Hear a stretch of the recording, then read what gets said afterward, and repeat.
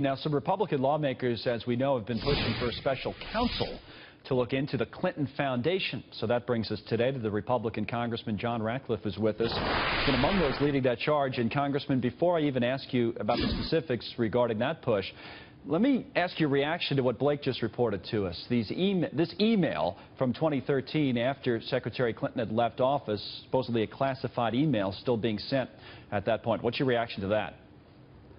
Well, it's more of the same, Connell. Um, I think it's why many of us felt uh, that there should have been um, a prosecution started with respect to Hillary Clinton regarding classified emails, and uh, Loretta Lynch should have been the one to initiate that. And it really ties into uh, the point that I'm here to talk about today, which is uh, now we've got another scandal with respect to the Clinton Foundation, and we don't want uh, Loretta Lynch to be the person who is exercising prosecutorial discretion because right. clearly she's out to protect uh, someone within uh, the Obama administration. You want a special prosecutor. Um, where are we on that? And timetable to me is always important because of where we are now. It's the last day of August. The election, of course, November 8th. We want to get as much information about both candidates as we can before then. But in this case, you know, uh, time is at issue. Where are we on the push for a special prosecutor?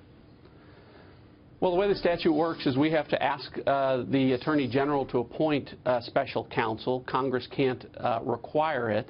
Um, so we're making that request now. But, Connell, um, while I don't want Hillary Clinton uh, to be the next president, the purpose behind this request for a special counsel isn't to influence the election. It's so that justice is served and that people, the American people see that everyone's treated equally under the law.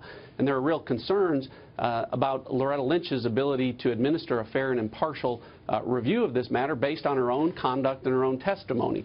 So uh, as you recall, uh, uh, Connell, she uh, in her own words, cast a shadow over the Department of Justice when she met with Bill Clinton right. five days before she cleared Hillary Clinton uh, of charges relating to the unauthorized uh, emails. But then she appeared before me and my colleagues on the House Judiciary Committee, and in response to a question I asked her, she said she wouldn't rule out applying for a job to be hmm. the Attorney General for Hillary Clinton.